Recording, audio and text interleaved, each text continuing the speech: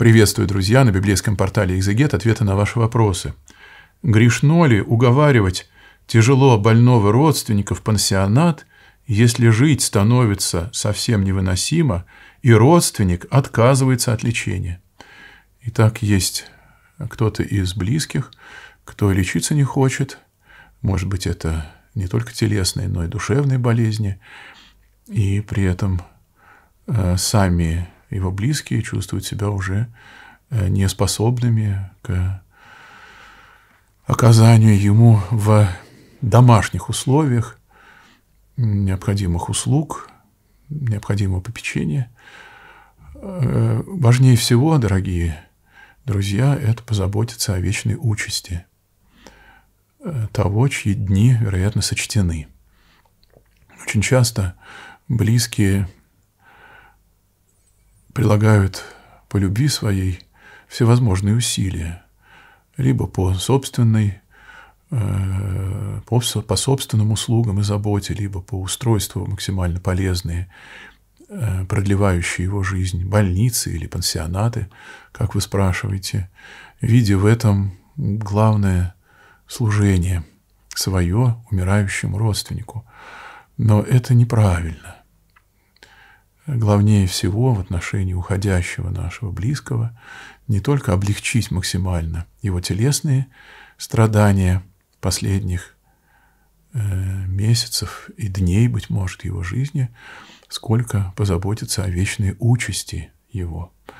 И именно об этом император э, просил Александра Сергеевича Пушкина, умирающего в тяжких муках смертельного ранения – отойти в вечность как христианин, что Александр Сергеевич и не замедлил исполнить, призвав священника, исповедавшись, причастившись святых христовых тайн.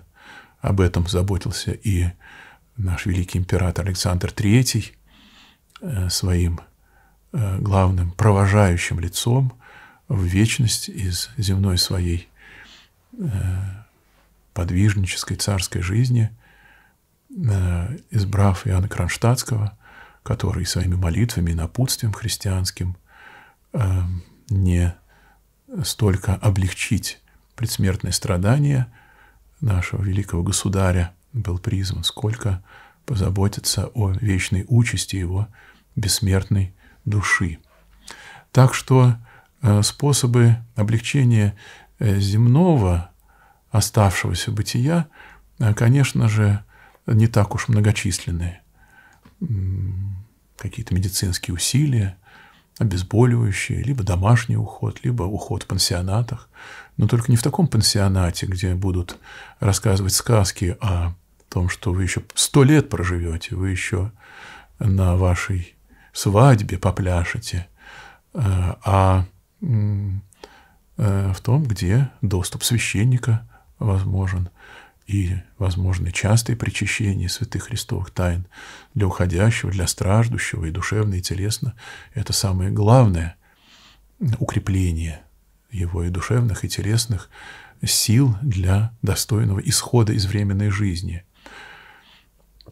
То, что душе надлежит от тела отделиться, и именно это э, событие даже ускоряется чтением э, канона. Есть канон э, по исходе души от тела, а есть канон, имеющийся в наших распространенных молитвословах на разделение души от тела, когда кто-либо тяжко страждет, и земная жизнь уже остается как э, поистине крестный э, участок, э, последний, который надлежит человеку пройти с достоинством, с возложением своей участи вечной в руце Божьей, а как Господь явил нам пример на кресте, сказав самые важные слова и разбойнику, благоразумному «сегодня же будешь со мной в раю», и возлюбленному ученику своему,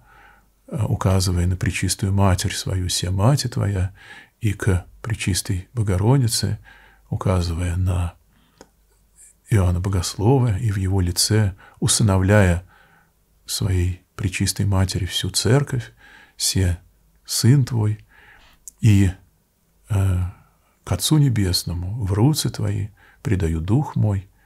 И, наконец, э, торжественное свершилось для всего человечества как знамение великого события э, смерти Бога-человека на кресте, необходимой искупительной жертвы для того, чтобы воссоединился всякий пожелающий во Христе посредством церковного, церковной жизни с Богом в вечности.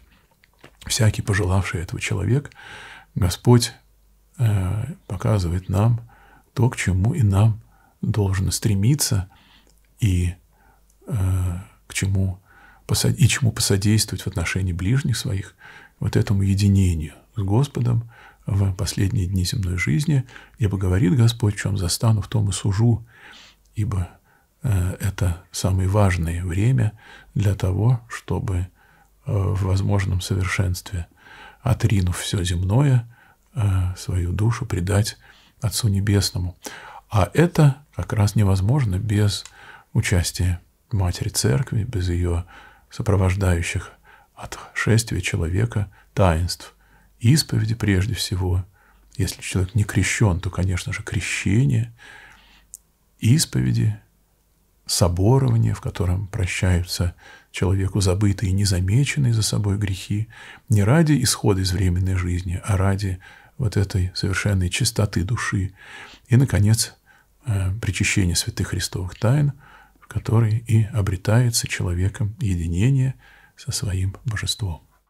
Внеси свой вклад, оцени, подпишись и поделись этим видео.